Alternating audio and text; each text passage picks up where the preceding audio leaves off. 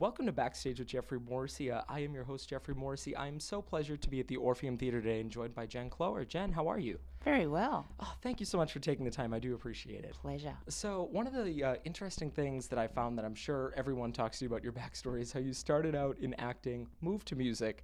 Uh, what is it about music that drew you there that either you weren't getting the creative fulfillment for acting? Why did you decide to sort of make that change? Sure. Well, I, I love performing, you know, whether it's acting or, um, you know, performing music. Um, but I think what really drew me to music was the freedom where you can just pick up a guitar and you can write your own songs and you can choose when you want to record them and go out and tour them. There's a lot of independence around making music, whereas I felt you know, and bear in mind this is a good 20 years ago when I was acting, um, that you were often kind of waiting for the phone to ring, um, and it was a lot harder to get projects up. Um, so yeah, I just I love the, um, I guess yeah, just the the ability to DIY and do your own thing and you're very good at it too, especially with all the DIY stuff. Um, but one of the things that strikes me about uh, your music and a lot of the music that's coming out of Australia and New Zealand right now are just the incredible, incredible lyrics. Mm. Uh, and I know that songwriting is a priority for you, and that with this record, you uh, quote discovered that writing is about sitting down and being there. Mm. So I know that you have a lot on your plate with sort of the milk stuff, running the label, trying to record your own music. So how do you manage your time? What what are some keys or tips and tricks for time management? Sure. I mean, I don't always get it right, and mm-hmm. and you know, I I'm I'm by no means a kind of master of of time management, but you know, things that I have discovered that work well is just kind of allotting time to everything. So not letting some things be ignored and build up, like bookkeeping and you mm-hmm. know, the stuff no one wants to do. Um, and also when I'm, you know, when I'm at home and I have some time, you know, over a few months, I will definitely dedicate the time in the morning to just sitting down, as I said, and just being there for a couple of hours and, and writing, you know, and sometimes, you know, it flows and it feels fantastic and you, you get, you know, all of this wonderful, you know, juice for a new song and sometimes it's just really kind of hard going. But the thing that I've learnt is just showing up because if you don't sit there and write, nothing gets written. Well, and to say that this album is showing up would be an absolute understatement. Uh, so you, you, really did knock it out of the park, uh, which I, am sure you've heard so many times before. Thanks. Um, but uh, when you when you're sort of creating these songs, do you get sort of your release, your expression, sort of the, the relief, the release from it when you're writing them, or when you put them out to the world, when you perform them on stage? Where does that emotional sort of openness come for you? Sure. Yeah, look, I, I think there's always a great sense when you finish a song. And for me, you know, the first, and there's different stages of finishing a song, but, but I guess that feeling where you go, I'm happy with the lyric, I'm, I'm really happy with the melody, and the arrangement feels pretty good. And I'm the kind of writer that will really bring a song pretty much fully you know, completed as far as arrangement and ideas to the band. So there's not a lot of kind of writing in the studio with the band. Um, obviously, they come up with, you know, all of their amazing parts um, as we're rehearsing and, and um, recording. Um, yeah, and I guess there's also that sense when you're recording where you get to a point where you feel like this is the version of the song that I want to release, you know, and that can come really quickly or that can take some time depending on, you know, the song. Um, and and then I mean you know this is a three part answer really. Mm. Then there's the performing of the song, you know, and finally seeing that song kind of land on an audience, and also over time the song will develop, and you'll see, um, you know, the song the song's power will start to come through, and that can be really interesting as a songwriter to kind of go, wow, this song is a lot more powerful than I'd expected, because it's really only until you're in a live environment and you have an audience there, that I think the song really truly lives. Particularly, I think with rock music, you know, and it's a fairly classic rock album, um, and you need that audience to feed off, you know, the energy of the band. And as you've been playing these shows, what has been one of those songs that its power is being revealed as you start playing it more and more? Yeah, sure. I mean, um, the shows that I've been uh, playing with Kurt and Courtney around the States have been solo shows. Mm-hmm. Um, and I guess there hasn't really been a huge experience of seeing, you know, it's just me and acoustic guitar, um, of seeing sort of songs develop in a big way live. Um, but when I'm playing with the band, um, we just did a, a, UK and Europe tour with the band, and we'll be back in the States playing um, band shows. Um, there's a song called Forgot Myself, which is mm. the first song on the album, uh, and that has really um, become, you know, a really big song live, and also a Strong Woman, um, which is a bit further into the album. I guess they're the more kind of rock songs on the album. But yeah, those those songs have been really um, interesting to watch turn into something bigger than us. And, and Strong Woman, especially, just sort of, uh, I'm going back because I, I read all the lyrics before coming here too. I listened to the album, but I always like to read the lyrics too. Mm. And especially when you sit down, for me, even reading the lyrics and sort of going through it like almost like an article, mm. that's where I found like even more power in that and really mm. having a chance to digest those. So, yeah. It's a wonderful song. Um, but as you mentioned, uh, these are your first shows in the States. Uh, mm. So, how has that been going? Have you noticed any differences with audiences or anything like that? Uh, what, what's been your impression so far? Yeah, I mean, the, the audiences have been fantastic. And bearing in mind, you know, uh, I'm opening for Courtney and Kurt, mm-hmm. and a lot of the people coming through the doors, you know, haven't heard of me before. There's obviously a few Milk fans or Court, hardcore, you know, Courtney fans who might have heard some of my stuff, which is great. Mm-hmm. Um, so it's it's that kind of interesting thing of walking out onto a stage and really introducing yourself to people for the first time. Um, and by the end of the show, I've really noticed, um, you know, people coming a lot closer and coming into the into the experience and, and my world and, and what I'm talking about. And the audiences here have been so warm and appreciative and um, quite vocal, which I love. Um, yeah, a lot of my friends, a lot of my Australian friends have said that American audiences are the best. Like they're just so positive and not frightened to give you a standing ovation and really celebrate, you know, musicians, which is which is true. Well, I'm glad to hear it. I'm glad to hear it. Uh, and I mean, the acting background must be one of those things when you're going out on stage for the first time, especially as you said, an audience that might not know you and introducing yourself. I mean, some of those techniques must come in handy there to some extent. Yeah, I think so. I think more than anything, um, you know, coming to music a little bit later. You know, by the time I started performing with a band, um, I would have been in my late 20s, you know, so mm. most people are kind of veterans of music by that stage. Um, but because I'd had all of that time as an actor, um, you know, being on stage and being under lights and getting used to an audience being there, I think it's really helped me to just relax and, and feel at home on a stage. And a lot of people kind of note that, you know, she seems really relaxed on stage. And I think it's just come from, you know, years and years of um, acting and being out there in front of people. Well, nice, nice. Uh, I do want to take a moment and talk about your latest release, or I guess re release would be a better way to put it. Uh, the song Numbers for the 30 Days of Yes campaign, mm. which is just uh, one of the coolest campaigns between you guys, Julia Jacklin, Marlon mm. Williams, like just some of the best music from uh, from Down Under. It's been so awesome mm. to see. But it, it's one of my top five favorite love songs. Um, it, not necessarily because I can relate to the lyrical content of it, mm. but just the connection in the voices and the mm. honesty. Uh, the love there is just so apparent from the moment that that song starts. Mm. Um, so please just take me through, if you can remember back to the writing of that, because I think that was fairly early in your relationship with Courtney, right? Yeah, it was. It was. It was actually we started started writing that song before we were even partners. Really? So, yeah, we were just wow. sort of like hanging out, and I was writing. Um, at the time, I was writing a whole lot of duets with different songwriters as a as an exercise in collaboration and to see what you could do with another songwriter and um, and where it would take, you know, form and where it might go. Um, and it's quite interesting, you know, sitting down with a songwriter that you don't necessarily know and going, okay, let's write a song together. you know, mm-hmm. it was kind of um, challenging. Um, but yeah, Courtney was one of the songwriters that, that I asked to um, to collaborate with, and yeah, I remember sitting down um, and and just you know she came up with those kind of quite hypnotic chords, and just started singing a melody, and then you know we started to work on the lyric together. Um, and it's kind of interesting when you're writing a song with another person because you know, you might just bring a little thing to the song, but it can mm. really make it, you know. So there's little kind of flourishes and touches in a pretty simple song um, that I remember kind of, you know, writing together. So yeah, that's kind of, I mean, you know, the song really is is is about, you know, not not using age um, as a as a way of sort of discriminating against, you know, the idea of relating to someone else, you know, whether that's in a romantic partnership or otherwise. Um, and I feel like that's really shifted that whole idea of age.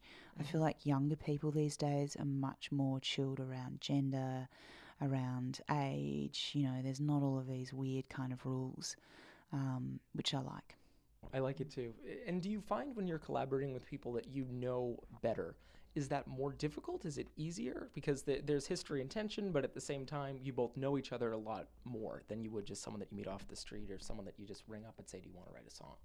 Yeah, um, I don't know. It kind of, I think it's like anything. There's there's either a chemistry there or there isn't, and Mm. that's what you kind of discover, whether it's someone you know or you haven't met. Um, there's there's just that strange sort of thing that that sometimes it's there and you can write together.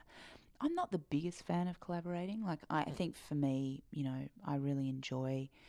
I both despise and enjoy um, the experience of having to sit down by yourself, and sometimes it can be really lonely. But also, I like the depth that you can go into lyrically, and I think that's the thing that I've discovered with collaborating is that. Um, particularly if you're writing the lyrics together, you don't have the same kind of time to really delve into and and find that attention to detail. So yeah, you know, it can be good. Well, perfect, perfect. Uh, and then, so uh, sort of relating back to the whole 30 Days of Yes campaign, and then as well as your own album as, as well, it really does sort of blend both art and advocacy and the personal and the political, and it sort of brings it all to one. So, how do you see the relation between both, you know, personal and political, art and advocacy, and, and sort of blending all of those things when you're writing, when you're creating music? Sure. Yeah, look, I don't know whether, you know, uh, those ideas of, you know, I'm going to write a political song or I'm going to advocate for a certain, you know, cause or something that I have, you know, that's close to my heart. Um, you know, I just, I just write. And then if it sort of takes form or turns a corner, um, I think you need to be very careful if you start to discuss politics in music. Um, you know, there's the majority of the songs on my album are very personal topics, and if I do kind of venture into anything political, it's generally coming from my own experience. There's only one song on the record which I researched, you know, Mhm. in so much depth, which is kind of biblical, which really, you know, delves into why would someone vote for your current um, administration. Um, Good question. yeah, but I wanted to understand because I think the issue, the issue that we have in the world at the moment is no one's willing to understand the other person's viewpoint or understand how things have come to be the way they are. It's just a kind of shouting match, and I'm really interested in having that conversation and actually understanding each other so that you can at least try and move forward in some way. Mm.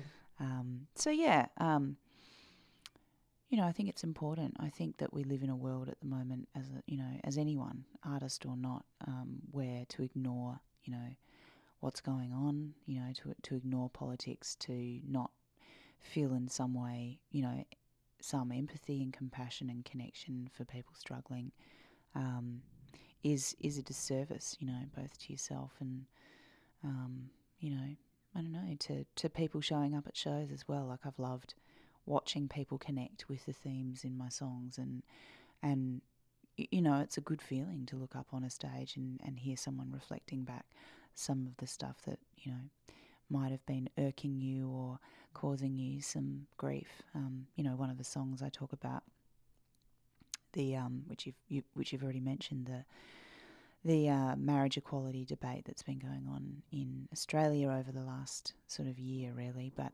they've just had a, a, a public opinion poll, um, so it's not legally binding. It's not a referendum. It doesn't change legislation. It's just a popular vote, um, which has cost $122 million worth of taxpayers' money to uh, find out whether the Australian public thinks same sex couples should be able to marry legally. Um, and it's kind of been, uh, you know, it, it's it's been a waste of time because there's plenty of polls that would show that yes, Yeah. at least exactly. two thirds of the Australian population feel totally fine about that.